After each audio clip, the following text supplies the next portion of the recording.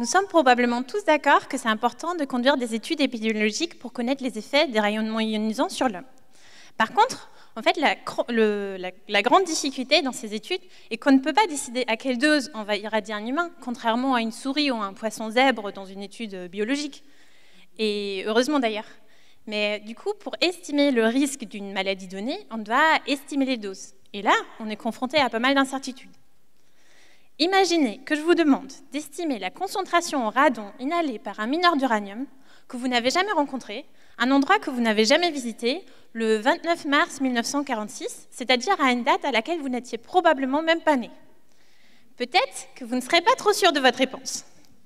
Ensuite, pour calculer la, dose reçue au poumon euh, par ce mineur, je vous pose encore plus de questions.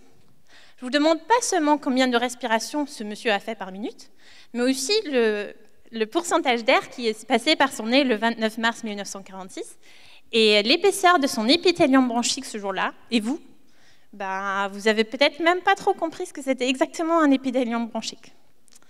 Alors, globalement, on peut dire que l'objectif de ma thèse, c'est de faire comprendre à l'algorithme statistique qui fait l'estimation du risque qu'on a pas mal d'incertitudes sur le calcul de dose ou poumon chez les mineurs d'uranium. Euh, pour faire ça, en fait, j'ai le, choix entre euh, deux approches statistiques. Parce qu'en fait, en statistique, il y a comme deux équipes de foot d'une même ville qui s'aiment pas trop. On les appelle souvent les Bayésiens et les fréquentistes. L'équipe des fréquentistes n'est pas trop faite pour prendre en compte les incertitudes. Ils vivent dans un monde assez simple, un peu noir et blanc. On dirait un film américain des années 60. En fait, dans leur vie tranquille, euh, les hypothèses sont vraies ou fausses, mais elles peuvent jamais être probables. Si vous leur parlez de la probabilité d'une hypothèse ou de l'incertitude que vous avez sur une dose, ils vont vous regarder avec des grands yeux et vous conseiller un psy.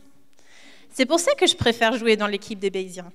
Ces Bayésiens vivent dans un monde avec beaucoup plus de couleurs en utilisant cette approche, je peux mettre des lois de probabilité sur tout pour exprimer mon incertitude. Et euh, là où avant on disait qu'on était sûr que notre mineur avait fait 15 respirations par minute, je peux dire maintenant que euh, je ne suis pas très sûre, mais je pense que c'est probable qu'il en a fait entre 11 et 19. Et cette approche m'a aussi permis de euh, comparer mes estimations de risque avec et sont prises en compte des incertitudes. Et la finale de ma thèse, ce serait de faire un derby entre l'équipe bayésienne et l'équipe euh, fréquentiste sur la pelouse des données simulées pour voir qui joue mieux. Comme ça, on va voir si c'est mieux de faire plein d'hypothèses sur le fait que tout est noir et tout est blanc, ou si c'est mieux de traiter quelque chose de très incertain ben, comme quelque chose de très incertain.